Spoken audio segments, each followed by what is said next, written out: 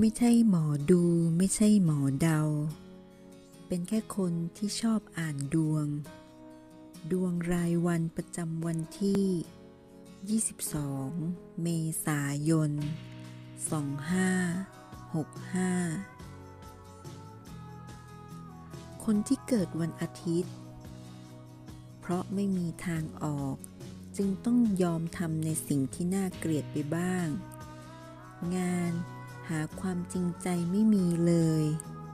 เงินทอง อย่าให้ใครไประวังโดนหลอก ความรักไม่รู้จะหลอกลวงกันไปทำไม คนที่เกิดวันจันทร์ อย่าฟุ้งซ่านไปเองจนเสียงาน งานตั้งสติปัญหาจริงๆ ไม่ได้ใหญ่โตอย่างที่คิด เงินทองอะไรจำเป็นต้องเสียก็ต้องยอม ความรักคิดมากไปเอง คนที่เกิดวันอังคาร ใกล้ความสำเร็จเข้ามาทุกที งานกาดอย่าตก ระวังท่าดีทีเหลว เงินทองใกล้ความจริงกว่าที่คิด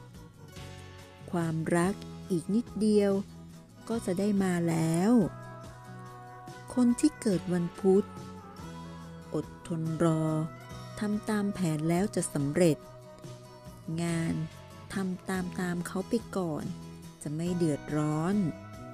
เงินทองสบายสบาย ความรักถูกผิดก็ยอมยอมไปจะได้ไม่มีปัญหา คนที่เกิดเป็นพฤหัสบดี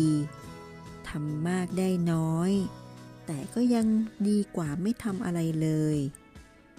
งานเหน็ดเหนื่อยมากขึ้น เพื่อให้ได้งานเท่าเดิม เงินทอง มีพอใช้ ไม่พอฟุ่มเฟือย ความรัก คนรักมักเอาแต่ใจ คนที่เกิดวันศุกร์เล่นใหญ่จะได้น้อย เล่นน้อยจะได้มาก งานค่อยเป็นค่อยไปจะดีกว่า เงินทองมาเรื่อยๆ ไม่ขาดตอน ความรัก ใจเย็นๆ เดี๋ยวไก่ตื่น คนที่เกิดวันเสาร์ผลประโยชน์ลงตัว อะไรก็ดีไปหมด งานทุกอย่างลงตัว ไปได้สวย เงินทองคล่องมือเข้าออก ความรักดีงาม เพราะผลประโยชน์ลงตัว จบไปแล้วนะคะ กับดวงรายวันในวันนี้ ขอให้วันนี้ เป็นวันที่ดีสำหรับทุกคนนะคะ